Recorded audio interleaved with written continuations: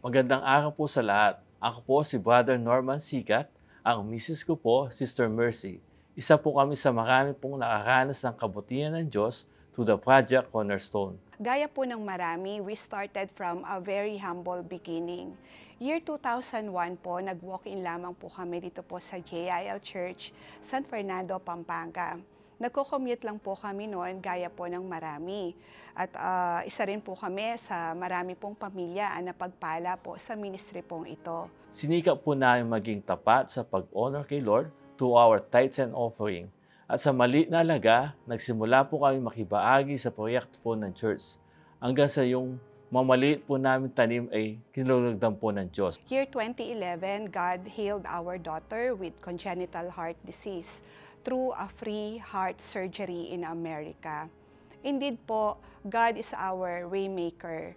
Marami rin po kaming unanswered prayers or mga panalangin hindi sinagot ni Lord na itinuring din po naming mga blessings. Gaya po ng una po naming negosyo, yung isa pong sari-sari store. Prayer po namin na maging grocery po ito. Pero nagsara po ito after three years. And three times din po kami nag-apply going to Canada. And three times din po kaming uh, na-deny or nag-failed. One particular day po in July 2015, habang naglalaba po ako ng mga damit po namin, naiiyak po ako while praying to God. I believe that was my lowest point or my breaking point. At habang ako po ay uh, nagpo-pray, literal po na pinakita po ni Lord yung sign po sa akin. While doing the laundry, naka-on po yung TV and uh, na-overheard ko po ang isa pong segment, How to Start a Cake Home Business. Praise the Lord po.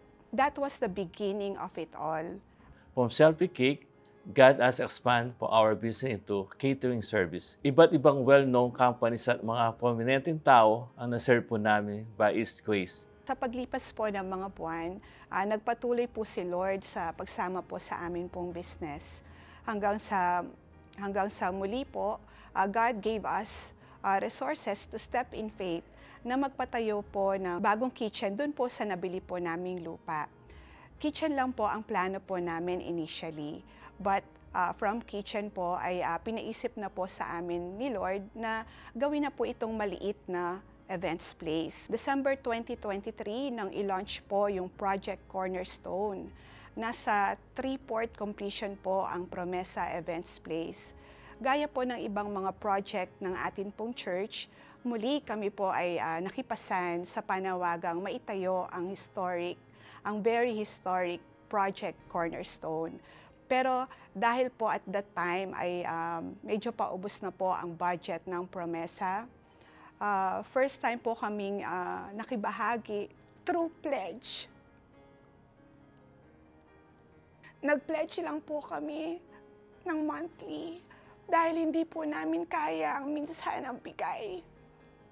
Pero sadya pong napakabuti ni Lord kasi kahit po pledge lang yung amin pong commitment sa Project Cornerstone ay in-honor po ito ni Lord. Sapat lang po talaga yung budget namin para sa Promesa Events Place and Kitchen. Yung Promesa Swimming Pool and Promesa White House ay um, inaalagaan pa lang po namin sa panalangin. Sa biyaya po ni Lord, after po kami ah, makapagbigay po ng ah, unang tatlong buwan sa amin pong pledge amount, ah, mabilis po ang naging tugon ni Lord. February 2024 po, nagbigay na po si Lord ng pang down payment po for the swimming pool construction. Ah, sunod-sunod na po yung provision ni Lord at hanggang sa pangatlong project which is the Promesa White House for the staycation rental. Hindi po namin ubos maisip na napangyari po ang mga ito sa amin pong buhay. Yung imposible po sa amin ay posible po sa Diyos. God is really our promise keeper and our miracle provider. Nauna pong tinapos ni Lord ang Promesa Events Place at sa habag po ni Lord, same month po ng September 2024, last month ay natapos din po kami na makumpleto ang amin pong pledge sa Project Cornerstone. Praise God po. Wala pong special sa amin. Di po kami magaling. Mahiya po kami. Lalo na po ako, pero patuloy lang po kami nakadepende sa Diyos. Ang Diyos ang ating pinaglilingkuran. Dito sa Jesus Lord Church ay tunay at tapat pong maasahan. Sa Diyos ay wala pong imposible. And uh, sa Matthew 21, uh, verse 22, if you believe, you will receive whatever you asked for in prayer. Salamat po. God bless Project Cornerstone. And to God be all the glory.